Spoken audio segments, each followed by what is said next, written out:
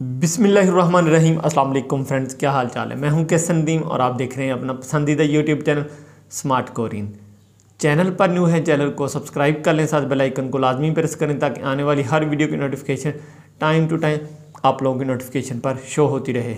Friends एक new informative video के साथ आप लोगों की खिदमत में हाजिर हूँ। कोशिश करिएगा वीडियो को लास्ट तक ज़रूर वॉच करें और कोशिश करें हमारी इन वीडियोज़ को सदका जारिया की नीयत से दूसरे दोस्तों तक लाजमी शेयर करें। आप लोगों की तरफ़ से मुझे काफ़ी सारे कमेंट्स भी आए। आप लोगों की तरफ़ से मुझे मैसेजेस भी आए कि, सर, हमारा पासपोर्ट सिक्स मंथ बाकी हैं एक्सपायर होने में। हमारा पासपोर्ट अगले साल के पहले महीने में एक्सपायर हो रहा है। हमारा पासपोर्ट पाँच महीने के बाद एक्सपायर हो रहा है। क्या हमें रिन्यू करवा लेना चाहिए?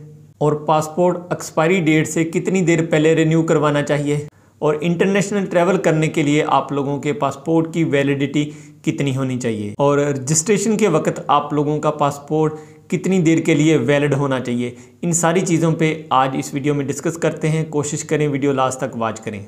सो so, सबसे पहली चीज़ फ्रेंड मैं आप लोगों को बताता चलूँ। इंटरनेशनल लेवल पे आप लोगों को ट्रैवल करने के लिए कम अज़ कम एटलीस्ट सिक्स मंथ के लिए पासपोर्ट वैलिड होना चाहिए। मतलब कि आज अगर सात अप्रैल है तो आगे इन महीनों को काउंट कर लें। अप्रैल, मई, जून, जुलाई, अगस्त, सितंबर और अक्टूबर की सात तक आप लोगों का पासपोर्ट वैलिड होना चाहिए। अगर आज से आप लोगों ने किसी भी कंट्री के लिए ट्रैवल करना है, बेशक आप लोगों ने विज़िट वीज़ा पे जाना है या किसी और वीज़ा पे जाना है तो आप लोगों का पासपोर्ट जो है एटलीस्ट सिक्स मंथ के लिए वैलिड होना चाहिए, ये इंटरनेशनल रूल है।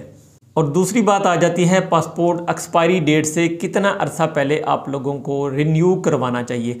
तो पाकिस्तान में जो पासपोर्ट ऑफ़िस का या गवर्नमेंट का जो लॉ है, उसके मुताबिक आप लोगों को अपना पासपोर्ट जब आप लोगों के सिक्स मंथ से कम टाइम रह जाता है, फ़र्ज़ करें आप लोगों के पास पासपोर्ट एक्सपायर होने में दो महीने बाकी हैं, तीन महीने बाकी हैं चार महीने बाकी हैं, पाँच महीने बाकी हैं मतलब कि सिक्स मंथ से नीचे होना चाहिए टाइम तो आप लोग अपना पासपोर्ट रिन्यू करवा सकते हैं। अगर आप लोगों का पासपोर्ट सात मंथ का है, आठ मंथ का है, आप लोगों का पासपोर्ट नाइन्थ मंथ बाकी है जिसमें एक्सपायर होने में तो आप लोग रिन्यू नहीं करवा सकते। आप लोग, जब आप लोगों का पासपोर्ट कहीं गुम हो जाता है तो उस सूरत में भी आप लोग अपना पासपोर्ट रिन्यू करवा सकते हैं। मतलब कि सिक्स मंथ से कम अरसे में आप लोग अपने पासपोर्ट के लिए न्यू एप्लीकेशन पासपोर्ट ऑफ़िस जाकर दे सकते हैं, अपना पासपोर्ट रिन्यू करवा सकते हैं।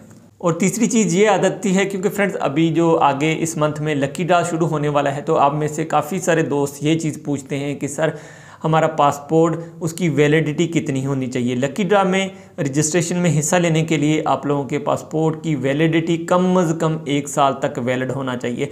अगर आप लोगों का पासपोर्ट 11 मंथ बाकी है तो भी आई थिंक सो कि आप लोगों को वो रजिस्ट्रेशन में हिस्सा लेने देंगे। बाकी कोशिश करें, अगर आप लोगों का पासपोर्ट सिक्स मंथ से नीचे है एक्सपायर होने में तो आप लोग अभी से अपना पासपोर्ट रिन्यू करवा लें। और चौथी चीज़ जो सबसे अहम चीज़ है जो मैं समझता हूँ कि आप लोगों को वो ज़रूर करनी चाहिए, हर बंदे को करनी चाहिए जिस बंदे ने बाहर जाना है या जिस बंदे का यही शौक़ है कि मैंने हर सूरत किसी ना किसी कंट्री सेटल होना है, मैंने बाहर ही जाना है, मैंने पाकिस्तान में जॉब नहीं करनी। तो उसको चाहिए कम अज़ कम आप लोग दस साल वाला पासपोर्ट बनवाएँ, पाँच साल वाला पासपोर्ट बिल्कुल ना बनवाएँ। अगर पाँच साल वाला पासपोर्ट आप लोग बनवाते हैं तो वो राउंड बोर्ड तकरीबन तीन हज़ार के बनता है। तो अगर आप लोग दस साल वाला पासपोर्ट बनवाएँगे तो वो राउंड बोर्ड पाँच से छः हज़ार का बनेगा। तो वो कम अज़ कम आप लोगों का दस साल तक वैलिड होगा। और फिर आप लोगों को इस चीज़ की टेंशन नहीं होगी कि यार मैंने पासपोर्ट जो है वो अपना रिन्यू करवाना है। तो दस साल तक आप लोग फिर बेफिक्र होकर अपना जिधर मर्ज़ी ट्रैवल करें, आप लोगों के लिए कोई भी किसी किस्म का कोई रिन्यू करवाने का मसला दरपेश नहीं होगा।